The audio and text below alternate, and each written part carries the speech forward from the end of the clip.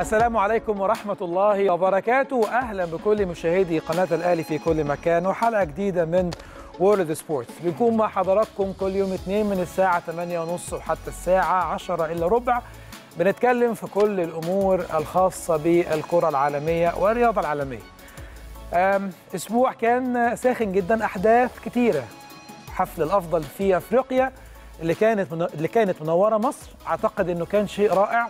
بنشكر عليه كل القائمين عليه وإن هو يخرج بالمنظر المشرف اللي حضراتكم شفتوه فوز ساديو ماني كأفضل لاعب أفريقي في 2019 أكيد طبعا لقب مهم جدا بيضاف إلى ساديو ماني لكن علامة الاستفهام الكبيرة واللي كلنا اتكلمنا عليها إن عدم وجود محمد صلاح في الحفلة بالنسبة لنا كان آه شيء محزن إن كان نفسنا كمصريين وإن البطولة أو الجايزة آه أو الحفلة بتقام في مصر إنه يكون موجود وسط أهله وأصحابه وحبايبه لكن خلاص حدث وعدى على خير. رياض محرز أيضا ما كانش موجود لكن آه، آه، الشو والشغل اللي كان معمول أعتقد إن هو يعني ما خلاش أي حد يتكلم على الحفل غير بكل شيء إيجابي. آم، أحداث كتيرة جدا حصلت الأسبوع ده بالسوبر الأسباني. شفناه كلنا بنظامه الجديد. كنا متعودين إن بطل الكاس بيلاعب بطل الدوري. في مباراة ذهاب وعودة. الكسبان فيها بمجموع الماتشين بيفوز بلقب السوبر. لكن اتفاجئنا إن الاتحاد الأسباني عمل بروتوكول أو عمل سوبر بشكل جديد في تعاون ما بينه وما بين اتحاد الكره السعودي أو وزارة الرياضة في السعودية إن يقام البروتوكول الجديد باول أربع فرق الأول والثاني والثالث والرابع في مباراة تجمعهم قرعة. الكسبان مع الكسبان في مباراة نهائي سوبر وده اللي حصل. برشلونة خسر من أتلتيكو مدريد في مباراة كبيرة جدا. ريال مدريد بيفوز على فالنسيا أيضا في مباراة كبيرة علشان أتلتيكو وريال والنهائي التاسع لزين الدين زيدان اللي بيكسبوا تسع نهائيات بتسع بطولات زين الدين زيدان مع آه، مشواره مع كرة القدم. لكن آه، أكيد مباراة الريال وأتلتيكو كانت ممتعة حتى لو امتدت إلى ركلات الترجيح. مفيش شك إن كورتوا ممكن يكون جماهير ريال مدريد رضيت عليه شوية بعد يعني بعد المستوى اللي أظهره بعد ما آه، كان سبب في آه، صد ركلات جزاء أتلتيكو مدريد واللي حسمت الأمر بالنسبة لفريق ريال مدريد بفوزه بلقب السوبر لقب مهم لفريق ريال لقب معنوي. لقب أعتقد إن هو آه، يعني لقب كان مهم في وقت مهم. لكن هنتكلم في اسم اسم ليه جانب سلبي واسم ليه جانب إيجابي. فالفيردي هنشيل الاسم الأول وهن... وهنتكلم على ال family name. هنتكلم على اسم فالفيردي. فالفيردي هو اسم موجود في برشلونة وموجود في ريال مدريد. فالفيردي ريال مدريد امبارح آه نادرا لما بنشوف لاعب مطرود والجماهير تشيد بيه وده بيحصل قليل. طبعا ذكاء اللاعب القدرة اللي موجودة عند اللاعب في اتخاذ القرار وده اللي اتخذه لاعب فالفيردي لاعب ريال مدريد. لما عرقل مراتا عرقلة مفيش فيها غير حاجة واحدة بس كارت أحمر. وده اللي الحكم على طول ما ترددش ثانية إن هو طلع الكارت الأحمر لكن في المقابل فالفيردي عمل إيه مع فريق ريال مدريد؟ قبل المباراة ما تخلص بحوالي تسع دقائق قدام حضراتكم اللقطة على الشاشة قبل المباراة ما تخلص في الدقيقة 82 أعتقد قبل المباراة ما بتنتهي بثمان دقائق ومراتا كان رايح انفراد تماما أو عفوا الشوط ال- الشوط ال- الشوط الإضافي الرابع عفوا دقيقة 116 آم، انفراد تام لمراتا مراتا خلاص هو الجول لكن آه، فالفيردي بيقرر إن هو آه، يعني يتدخل التدخل آه، المحترفين فعلا. اللي يطرد والجماهير تشيد بيه لكن طرد جاب بطولة. كارت أحمر جاب بطولة وبالتالي بطل المباراة امبارح من وجهة نظر جماهير ريال مدريد. هو هو فالفيردي لاعب الريال. طبعا ده الحكم هنا وهو بيشهر البطاقة الحمراء في وجه فالفيردي. لكن بعد ما فالفيردي طرد ريال مدريد آه، اتجه لضربات الجزاء وفاز على أتلتيكو مدريد. كمان في نفس الوقت اللي فالفيردي بيطرد فيه سبحان الله يعني سبحان ال- المعز اللي يخلي فالفيردي هو أفضل لاعب في البطولة. يعني لاعب مطرود يكون سبب في فوز فريقه بركلات الجزاء بسبب إنه منع هدف يخش عن طريق موراتا لاعب أتلتيكو مدريد وإنه كمان يتكرم بجائزه أفضل لاعب في البطولة كلها في الماتشين اللي اتلعبوا لريال مدريد. في نفس الوقت دييجو سيميوني واحد من المدربين اللي هيفضلوا من أعظم المدربين اللي موجودين حتى لو بيلعب بال11 لاعب جوه منطقة الجزاء. راجل عنده فكر راجل عنده أسلوب راجل عنده استراتيجية في بناء هجماته أو في رص دفاعه. المدربين دول يا جماعة يعني بيتعبوا جامد جدا جدا علشان يوصلوا للكلام اللي أنا بقول لحضراتكم عليه. جايزة فالفيردي لاعب ريال مدريد قدام حضراتكم بجايزة أفضل لاعب في البطولة في السعودية البلد العربي الشقيق اللي بنحترمها كلنا اللي فعلا نجحت باقتدار إن هي تنظم حدث كبير جدا جدا وهو إقامة أربع ماتشات لأربع فرق في الدوري أو أو ثلاث ماتشات عفوا ما بين أكبر أربع فرق في الدوري الأسباني على أرض السعودية على ملاعب السعودية بحضور جماهيري عربي 90% منه عربي خالص ال 10% كان لريال لبرشلونة لأتلتيكو مدريد لفالنسيا لكن مش بالعدد الكبير اللي كانت موجودة بيه الجماهير العربية. فالفيردي الاسم الثاني اللي موجود في برشلونة أنا بقول لكم علشان تاخدوها مني كلمة رسميا دلوقتي أو بالليل أو بكرة الصبح هتلاقوا على الموقع الرسمي لنادي برشلونة إقالة إرنستو فالفيردي. إقالة. في الوقت الحالي لبرشلونة أحكي لحضراتكم القصة حصلت إزاي وليه إدارة برشلونة اتخذت القرار ده في التوقيت ده. في ماتش أتلتيكو مدريد وبرشلونة في السعودية. حصل يعني حصلت بعض الهتافات بعد خروج نادي برشلونة من المباراة النهائية. حدثت بعض ال يعني النداءات جوه الملعب. فالفيردي out فالفيردي out في الوقت اللي كانت إدارة برشلونة يعني يعني تابعت ده وشافت ده وشافت إن هو فعلا في مشكلة في فالفيردي إن الناس كلها مش مقتنعة بيه ومحدش أجمع عليه ابدا غير واحد بس هو رئيس نادي برشلونة. رئيس نادي برشلونة بعد ما شاف الموقف ولقى ان طبعا يعني اللي بيحصل في برشلونة نتائج متذبذبة جدا وحصلت بعض ال drop ات في مشوار نادي برشلونة حصل تفكير في الأمر.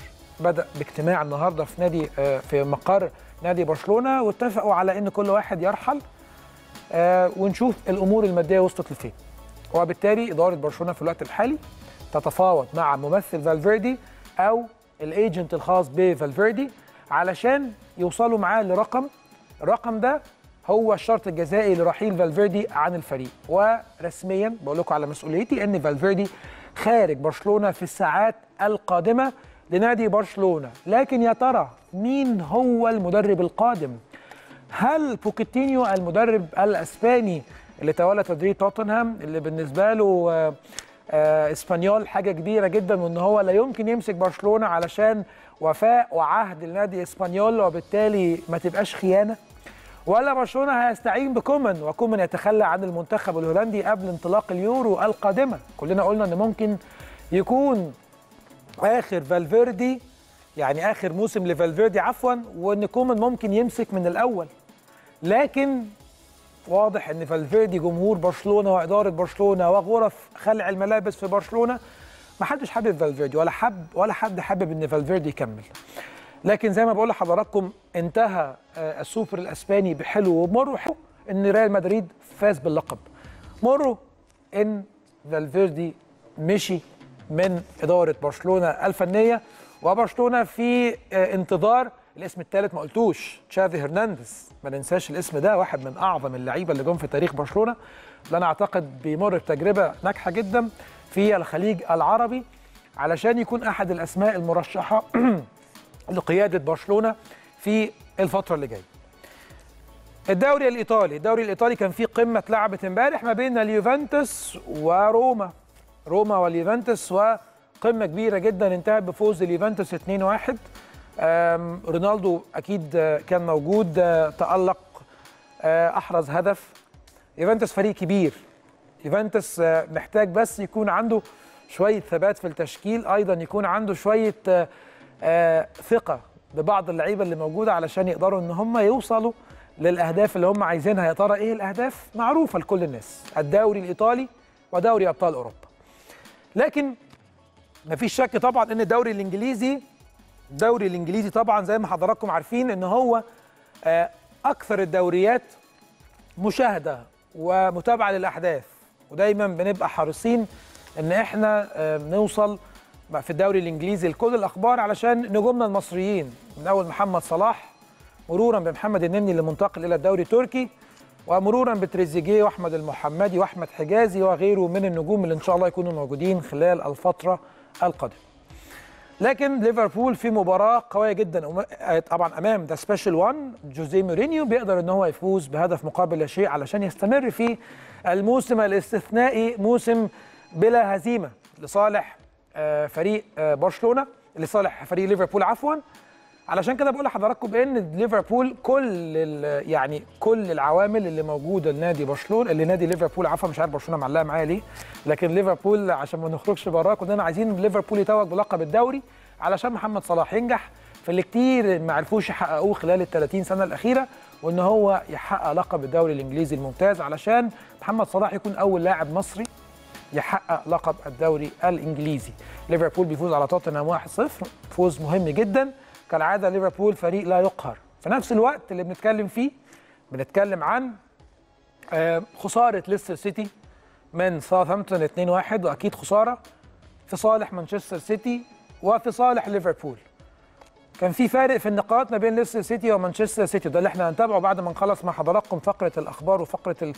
ال intro. هنروح للجداول علشان نقول لحضراتكم فارق النقاط ويبقى قدام حضراتكم بالصوت وبالصورة. السيتي وليستر بيقربوا من بعض. كالعادة السيتي هيبقى دلوقتي في صراع مع ليفربول هيحاول وانه يعافر على إنه يوصل لليفربول. 14 نقطة فارق النقاط.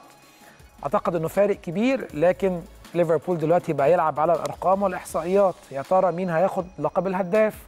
هل محمد صلاح وماني قادرين على ده؟ ومعاهم فيرمينيو.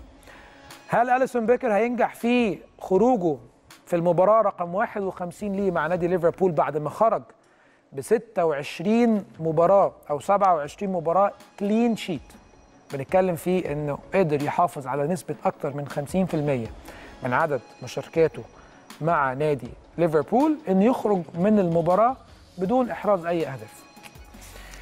بنتكلم على 37 مباراة بقت 38 مباراة صالح ليفربول بدون هزيمة من أول تاريخ 3 يناير 2019 في آخر مباراة. خسر فيها فريق ليفربول أمام مانشستر سيتي ودي آخر مباراة لليفربول خسر فيها. علشان كده ليفربول عايز يحقق الرقم المسجل باسم نادي أرسنال في موسم 2003 2004 في الموسم البلا هزيمة. 49 مباراة متتالية لنادي أرسنال في الدوري الإنجليزي على ملعبه وخارج ملعبه بدون هزيمة. علشان كده ليفربول بيبص على الرقم ده. الرقم الثاني رقم يورجن كلوب. يورجن كلوب وصل ل 50 مباراة على ملعب الأنفيلد بدون هزيمة. قلت لحضراتكم إن يورجن كلوب عايز يعادل الرقم ده. طيب يعادله قدامه 13 مباراة ثانية على ملعب الأنفيلد علشان يعادل رقم ليفربول اللي حققه في موسم 78 لموسم 80 بعد كده يبص على رقم مورينيو. 86 مباراة على ستانفورد بريدج من 2004 ل 2008 بدون هزيمة. وبالتالي يورجن كلوب لازم يبص على الأرقام الشخصية بعد المجد الجماعي. الجماعي الأول ثم الفردي يأتي بعده علشان كده بقول لحضراتكم إن الدوري الإنجليزي دوري قوي دوري هنتابع فيه يعني كل ما هو جديد لكن ابدا لا ننسى موسم 2019 2020 لما يورجن كلوب قتل المنافسة في الدوري الإنجليزي من أول الدور الأول وقبل انتهائه ومع بداية الدور الثاني. أعتقد إن ليفربول يغرد منفردا بدون منافس في اللقب على الدوري الإنجليزي لكن كل شيء وارد. لكن في كتير من جماهير ليفربول مقلقين خايفين. ممكن يكونوا حاسين إن الدوري ممكن يضيع منهم في أي وقت لكن ده إحساس طبيعي بعد غياب 30 سنة فوز بالدوري الإنجليزي علشان ليفربول يعود إلى الأمجاد مرة أخرى ويعود إلى الانتصارات. خليني بقى أتكلم مع حضراتكم شوية بالنتائج وبالأرقام. فهنروح معاكم دلوقتي لآخر الجولات في الدوريات العالمية الإنجليزي الإيطالي والسوبر الأسباني. أيضا معانا فقرة ال graphics اللي حضراتكم دايما بتبقوا متابعينها معانا. معانا فقرة آه هنبدأ بيها فقرة ال new talent أو فقرة النجم الصاعد اللي كل أسبوع بدأنا نجيب لحضراتكم آه نجم نتكلم عليه. لكن زي ما حضراتكم شايفين قدامكم دلوقتي دي أبرز النتائج الجولة السابقة في الدوري الإنجليزي. كريستال بالاس بيتعادل واحد واحد مع أرسنال. تشيلسي بيفوز مع لامبارد أخيرا بيرجع تاني ل يعني سلسلة الانتصارات بعد الهزايم والتعادلات الأخيرة بثلاث أهداف مقابل لا شيء أمام بيرنلي. اليونايتد الشياطين الحمر 4-0 ضد نورويتش سيتي. نورويتش سيتي يعني آه، فريق للأسف صعد من دوري الدرجة الأولى الشامبيونشيب للدوري الممتاز ما حدش حس بيه. قلت الكلام ده يا جماعة من أول مباراة ليه في الدوري الإنجليزي لما خسر 4-0 أمام فريق ليفربول. وكنت يعني مراهن إن الفريق ده مش هيكمل لاستمراره مرة تانية في الدوري الإنجليزي والحمد لله إن أنا طلعت صح ما خسرتش كلامي اللي أنا قلته. ونورويتش سيتي خسر 4-0 من اليونايتد أو الشياطين الحمر. ليستر سيتي بيخسر 1-2 من ساوثهامبتون الفريق العنيد الفريق اللي ليه بصمة في الدوري الإنجليزي الممتاز هذا الموسم. أما توتنهام هوتسبيرز وخسارة أمام فريق ليفربول وجوزيه مورينيو ما باليد حيلة غياب هاري كين وغياب سيسوكو أكيد أثروا بالسلب على خط وسط وخط هجوم نادي توتنهام. لا أنا أعتقد إن جوزيه مورينيو قدامه الكتير علشان يوصل معاهم لنفس الإنجازات اللي حققها بوكيتينيو المدرب الأسباني المدرب الكفء اللي وصل بأقل إمكانيات لأعلى المنصات. ليفربول بيفوز 1-0 أما أستون فيلا بيخسر بنتيجة كبيرة جدا أمام مانشستر سيتي 6-1 في تألق كبير لأجويرو.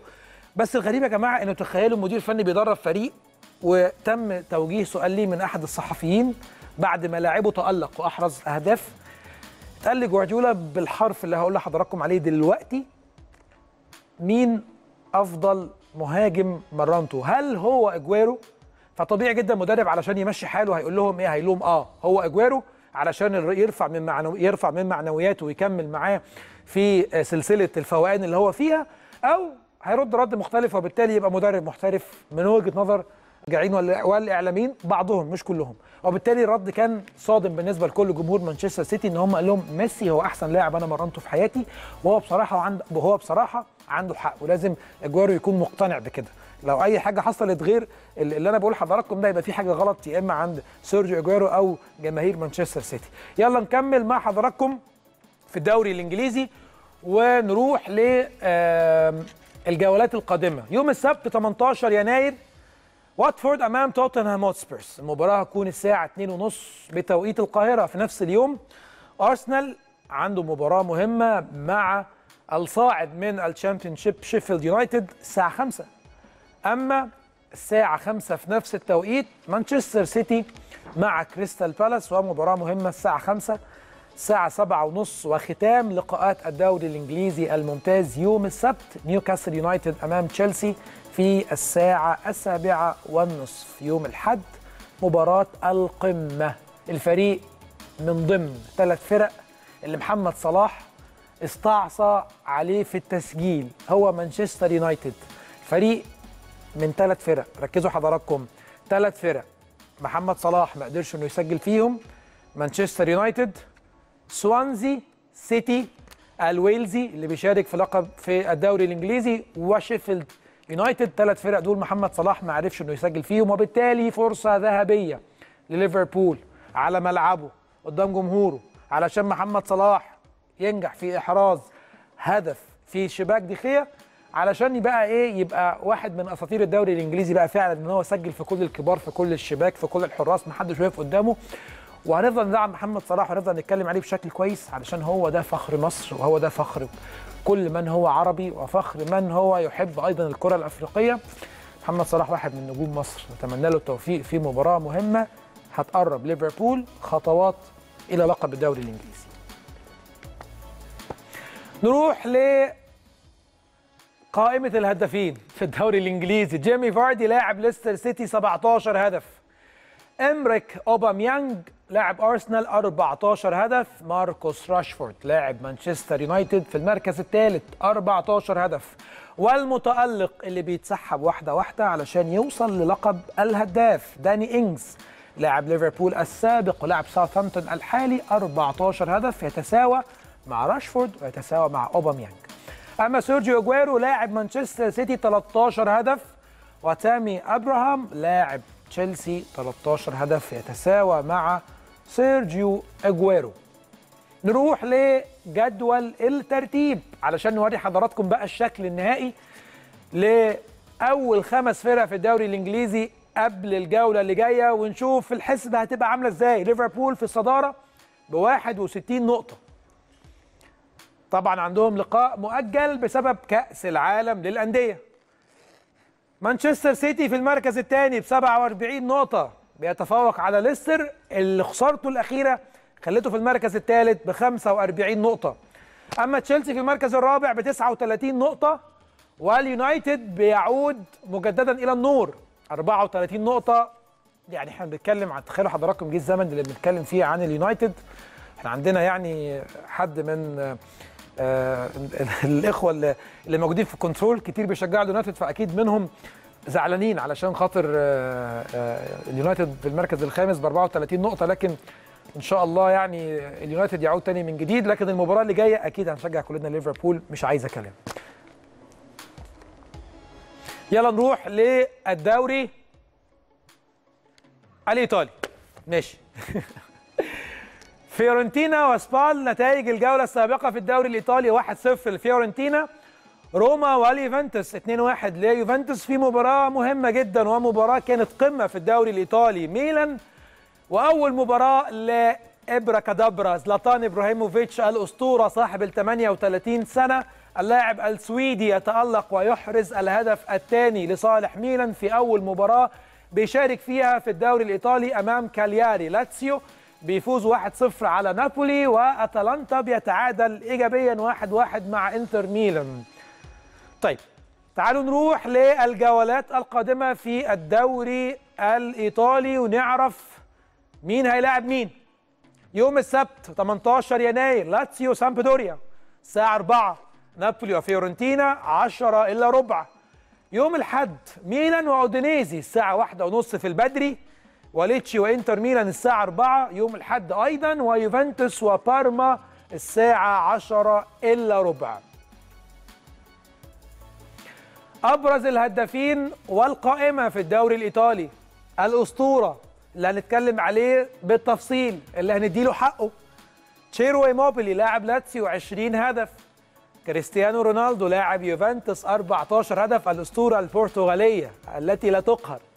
لوكاكو لاعب إنتر يتساوى مع رونالدو ب 14 هدف وجلفاو لاعب كالياري 11 هدف. عايز أقول لحضراتكم إن الدوري الإيطالي والدوري الاسباني دايما الاسماء بتكون غريبة علينا علشان إحنا مش بنتابع غير الأندية الكبيرة. يعني يعني جلفاو لاعب كالياري لاعب جاب 11 هدف وما اعتقدش إن في حد كتير يعرف جلفاو. يعني جواو بيدرو جلفاو ده اسمه الثلاثي زي ما حضراتكم شايفين ده عنده 11 هدف. لويس موريال أعتقد إن ممكن يكون البعض متابعه شوية وأنا ليه بقول كده؟ مش بس علشان خاطر الماتشات اللي إحنا بنتابعها في الدوري الإيطالي أو الإنجليزي كمان عشان اللعبة الشهيرة في العالم الفانتزي اللي كل الناس يعني بتعشقها وبتحبها جدا وبتلعب على طول عليها طول الوقت وبالتالي اختيارك للعيبة والنقط والفلوس اللي معاك وهتبدل مين مكان مين ده بيعمل نوع من أنواع المعرفة لكل لعيب الدوري الإنجليزي. لازم الليجا ولازم الكالتشو يعملوا نفس اللعبة بالظبط علشان الكل يشارك فيها وتبقى فرصة كبيرة إن كل الجمهور في العالم يعرف اللعيبة. أخيرا لوتارو مارتينيز لاعب إنتر عنده 10 أهداف يتساوى مع لويس موريال. يعني هم موجودين طبعا عشان هم بيعدلوا عليا وهم عندهم حق. آه الليجا وال وال والسيريا والكالتشو ال fantasy موجودة لكن مش بنفس بتكلم مش بنفس التقنيات ومش بتكلم بنفس ال options اللي موجودة في اللعبة اللي موجودة في ال fantasy في الدوري الإنجليزي. أنا عايزهم تبقى يبقوا بنفس الكفاءات علشان خاطر الناس تبقى عندها معرفة. يعني في طبعا fantasy في دوري الأبطال ودي أفضل حاجة بعد الدوري الإنجليزي لكن ال top هي الدوري الإنجليزي. تعالوا نروح بقى ل قائمة الترتيب. يوفنتوس في المركز الأول 48 نقطة إنتر ميلان 46 نقطة لاتسيو في المركز الثالث 42 نقطة أتلانتا في المركز الرابع 35 نقطة روما في المركز الخامس 35 نقطة.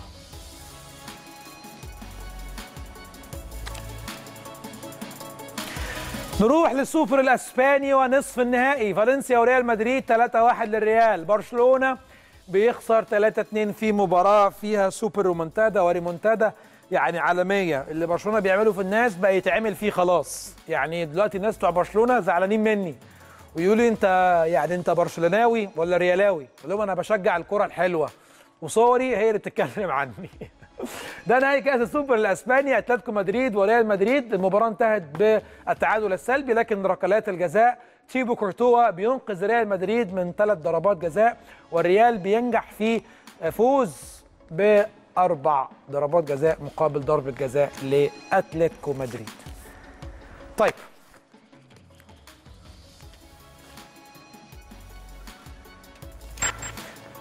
دلوقتي جه وقتنا مع فقرة ال graphics، ال graphics اللي بنتكلم فيها بالتفصيل عن كل ما هو جديد في عالم الكرة العالمية والبداية من الدوري الإنجليزي.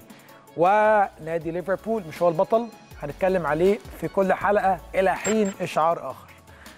زي ما حضراتكم شايفين نادي ليفربول الإنجليزي وصل لنقطة رقم 104 خلال 38 مباراة على التوالي. مانشستر سيتي وصل لنفس العدد من الماتشات 38 مباراة حقق 102 نقطة خلال عام 2018 تشيلسي وصل لنفس عدد. المباريات 38 نقطة هو كمان وحقق 102 نقطة خلال عام 2005 وبالتالي نادي ليفربول يتخطى مانشستر سيتي وتشيلسي في عدد النقاط خلال 38 مباراة على التوالي. نتائج ليفربول ضد الكبار في الدوري الإنجليزي لعب 8 ماتشات فاز في سبعة اتعادل في مباراة لم يهزم سجل 18 واستقبل سبعة. أرسنال 3 1 تشيلسي 2 1 ليستر سيتي 2 1 مانشستر يونايتد 1 1 توتنهام 2 1 ومانشستر سيتي 3 1 وليستر سيتي 4 0 وتوتنهام آخر مباراة كانت 1 0 نادي ليفربول الإنجليزي يحصد النقطة رقم 61 خلال 21 مباراة. أكبر رقم يصل إليه فريق في العالم خلال هذا العدد من المباريات. طبعا دي مقارنة للأندية اللي بتنافس فريق ليفربول في 21 مباراة. ليفربول لعب 21 مباراة فاز 21 مباراة. وعنده 61 نقطة.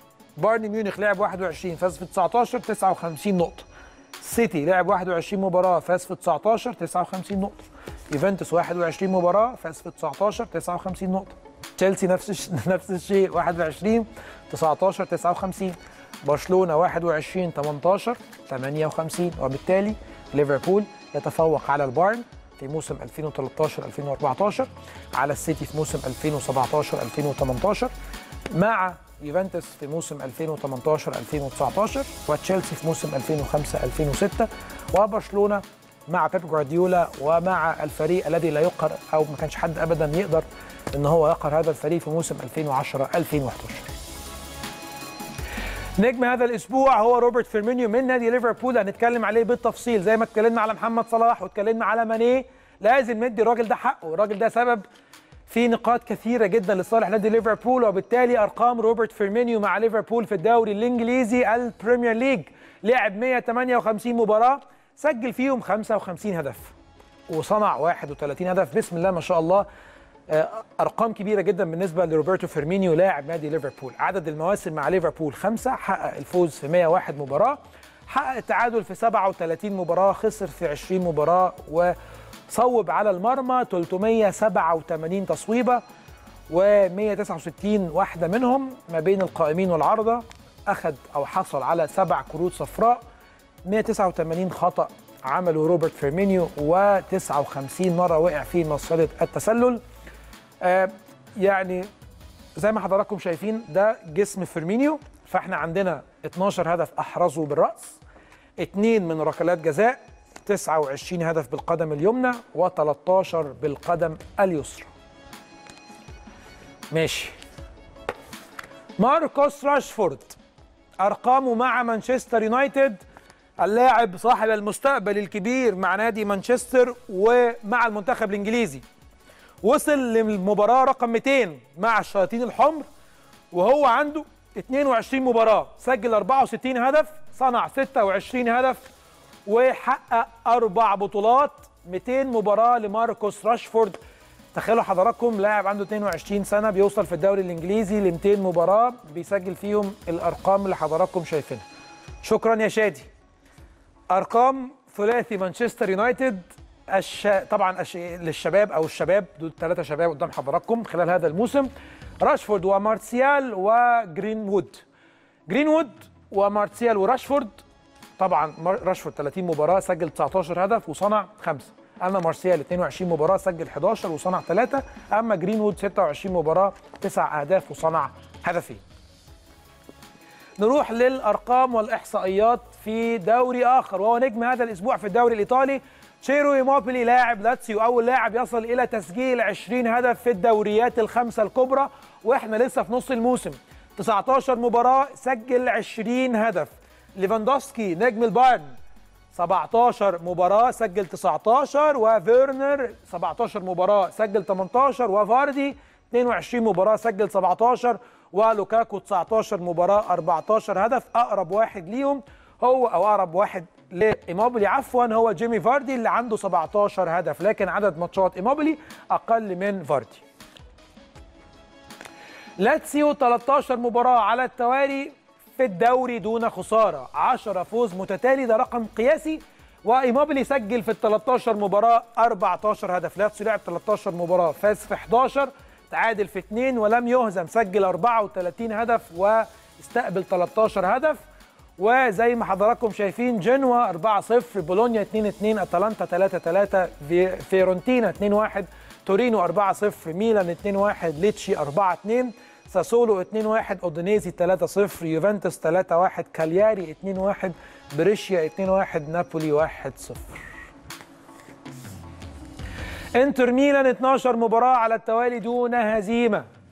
لوكاكو 11 لوكاكو 11 هدف لوتارو مارتينيز 8 أهداف لعب الإنتر 12 مباراة فاز في 8 تعادل في 4 لم يهزم سجل 26 استقبل 12 وبالتالي إنتر مع كونتي لا يقهر ساسولو 4 3 بارما 2 2 بريشيا 2 1 بولونيا 2 1 فيرونا 2 1 تورينو 3 0 سبال 2 1 روما 0 0 فيورنتينا 1 1 وجينوا 4 0 نابولي 3 1 أتلانتا 1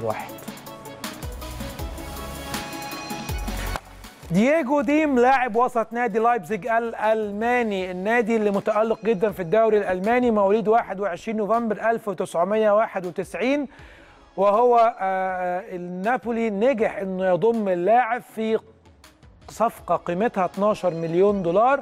ودي أرقام ديم مع نادي بادربورن اللي لعب فيه في البداية في دوري الدرجة الأولى. لعب معاه 58 مباراة صنع أربع أهداف ولم يسجل أهداف. مع نادي لايبزيج في الدوري الدرجة الأولى الألماني. 105 مباراة سجل هدف وحيد وصنع 8 أهداف في دوري الأبطال. لعب 9 ماتشات في ال Europa League لعب 14 مباراة وفي كأس ألمانيا لعب 12 مباراة. أفضل الثنائيات الهجومية في أوروبا من حيث تسجيل الأهداف في الدوري لاتسيو إيموبيلي وكوريا. 28 هدف في بايرن ميونخ ليفاندوفسكي نجح إنه يسجل آه 25 هدف هو وفيليب كوتينيو. وبرشلونة ميسي وسواريز 24 هدف وإنتر ميلان لوكاكو ومارتينيز 24 هدف وليستر سيتي جيمي فاردي مع آه فادرسون أو ماديسون جي جيمس ماديسون معلش. آه كانت ال- ال- الخط مش واضح شوية لكن صححناه وقلنا لحضراتكم ماديسون لاعب ليستر سيتي. طيب كده أعتقد إن إحنا خلصنا مع حضراتكم ال graphics الخاصة بالدوريات. أتمنى إن يكون ال graphics عرفنا نلم مع حضراتكم اللي حضراتكم محتاجين تعرفوه والمهم جدا في الدوريات العالمية والأرقام والإحصائيات اللي تقربنا أكتر من كل الدوريات. كل أسبوع بيكون معانا حلقة أو كل يوم بيكون معانا في الحلقة فقرة عن new talent أو موهبة صاعدة. وهو واحد من نجوم الدوري الأسباني لاعب نيجيري لاعب عنده مستقبل كبير جدا جدا. هنعرف أرقامه وهنعرف إحصائياته وبعديها هنشوف بالصوت وبالصورة الإحصائيات تترجم في أرض الواقع.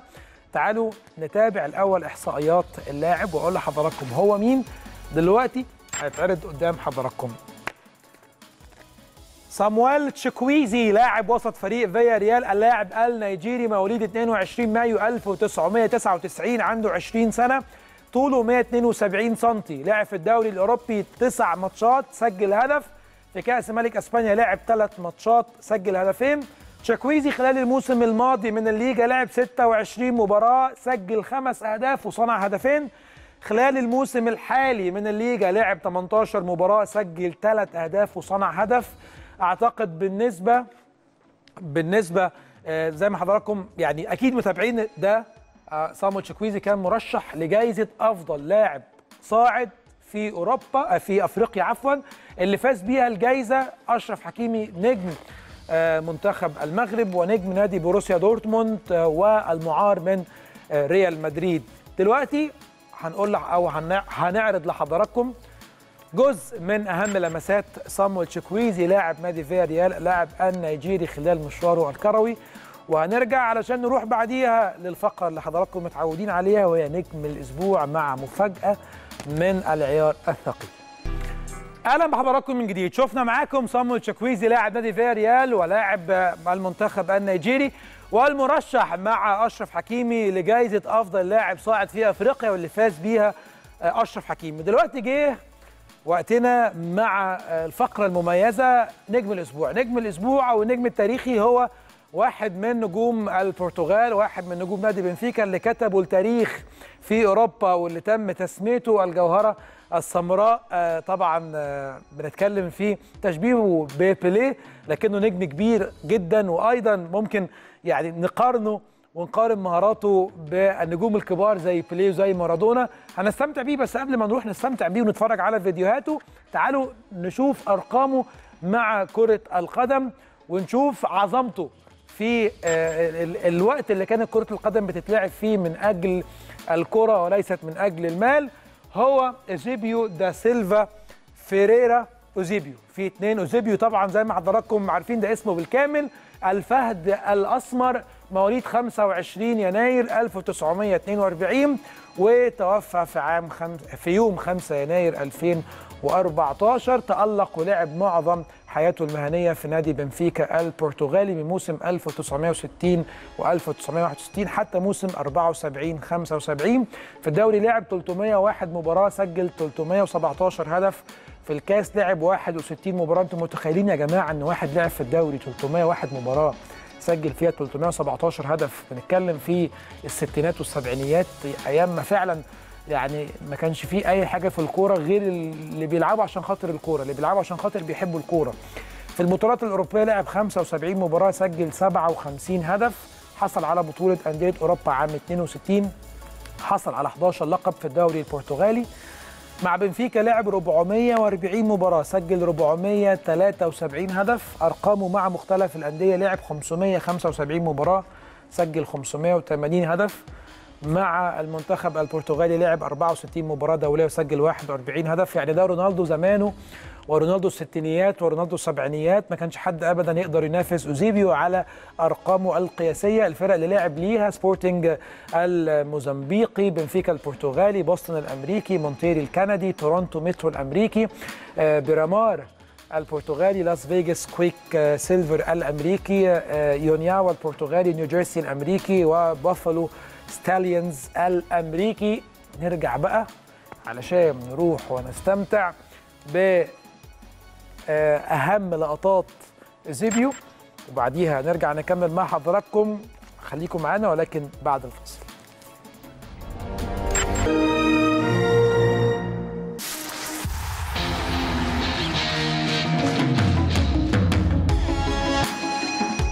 أهلا بحضراتكم من جديد. طبعا كل حلقة بيبقى بيبقى معانا جزء من آه، أجزاء أفضل 60 هدف في تاريخ اليويفا. استعرضنا مع حضراتكم خلال الثلاث حلقات اللي قبل كده. ثلاث أجزاء من أفضل 60 هدف. دلوقتي جه ميعادنا مع الجزء الرابع. من أفضل 60 هدف في الدوريات الأوروبية أو أفضل 60 هدف في تاريخ أوروبا. ده جزء من الأجزاء الممتعة جدا اللي حضراتكم إن شاء الله هتستمتعوا بيه. تعالوا نشوف السلسله الرابعة من أفضل 60 هدف في الدوريات الأوروبية بشكل عام. ونرجع علشان نكمل مع حضراتكم. خليكم معانا. حفل الأفضل في أفريقيا كلنا تابعناها مع الإعلان بفوز ماني. أكيد كلنا كنا مبسوطين كلنا كنا فرحانين. لكن كمان احناها من على المنصة. لكن رد فعل قرية ساديو ماني اللي طلع منها أكيد كان ليهم رد فعل مختلف. تعالوا نتابع ونشوف إيه اللي حصل لما أعلن جاني إنفانتينو عن فوز ماني بأفضل لاعب في أفريقيا. الفيديو اللي جاي معانا ده في شقين في شق كوميدي في الأول وفي شق فعلا عنده إرادة وعزيمة. في الأول إحنا هنتفاجئ كلنا نقول إن إزاي حارس المرمى عمل كده لكنه على طول بيصلح خطأه في واحدة من يعني أكتر الفيديوهات وأكتر اللعبات اللي فيها إرادة وعزيمة إن الواحد يصحح خطأه إن مهما الواحد غلط مفيش مشكلة إن هو ممكن يرجع يصلح نفس الغلط ده. علشان كده هنشوف آه، الفيديو اللي سميناه واللي كلنا اخترناه علشان يكون أفضل صدى في الأسبوع. تعالوا نشوف ونتابعه ونشوف إيه اللي حصل علشان أحداثه شيقة جدا جدا. كلنا عارفين إن ممكن الواحد أو اللاعب يتحايل على القانون علشان ياخد ضربة جزاء ويكون مبسوط جدا وفرحان إن هو مثل على الحكم والحكم عدى عليه الموضوع. لكن تخيلوا حضراتكم لو حصل العكس إن اللاعب حس إن ركلة الجزاء مش مستحقة. يا ترى اللاعب هيسكت ولا ممكن يروح للحكم يقول له آه هي مش ضربة جزاء؟ لو أنت مكانه هتعمل إيه؟